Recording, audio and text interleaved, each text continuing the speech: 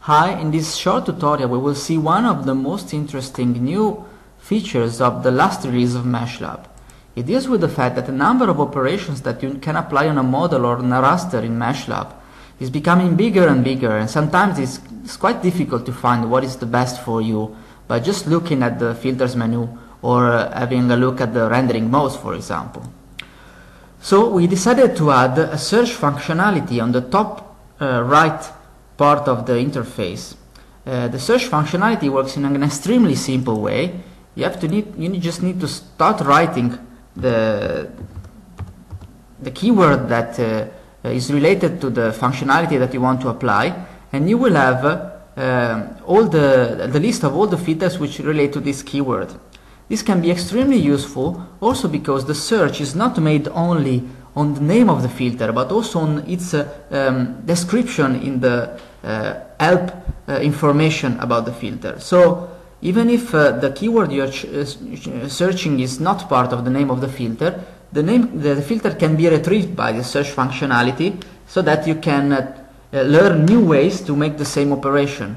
So I'm uh, showing just a couple of examples which were suggested by my colleague Guido Ranzuglia. And uh, uh, the first one, for example, is one of the operations that you have to apply quite often. that is the one that reduces the number of triangles in a 3D model. So can be um, described with different keywords. One of the, the possible uh, keywords is simplification. So if for example I start writing simplification and search for the filter, I, for example, I found find that there is one filter which is called simplification edge collapse, and it's a way to reduce the number of triangles. But there are, there's also another functionality which uh, probably works even better, but uh, it goes under the, the, the name of uh, decimation, which is a, an alternative way to describe this uh, uh, remeshing operation.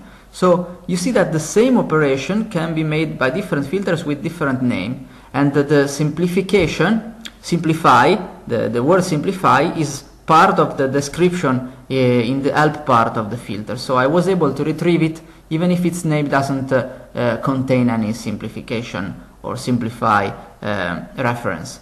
So uh, when you have to apply an operation, just find the right keyword and uh, then you could have new ways to apply the very same operation. Um, let's just make another example we, we want to uh, calculate the ambient occlusion on this model to help understanding the shape of, of, the geometry. So if I start writing ambient, I can find four possibilities. The first one is not a way to it's not a way to uh, calculate the ambient occlusion, but it's only a rendering mode. So this shows the ambient occlusion, but it's only as a, a decoration. And but it can be extremely useful if, for example, if you want only to make a screenshot of the model. Uh, the other possibilities are the two classic ambient occlusion uh, calculation filters per vertex and per face, but there is also another filter which is called volumetric obscurance. If you have a look at the description, it says that it is introduced to avoid the disadvantages of ambient uh, term and ambient occlusion. So this could be another possibility that you can try to obtain a result which is similar to the one that you uh, obtain by applying this, the, the classic ambient occlusion. Okay? So uh, the use of the search uh, functionality can be extremely useful.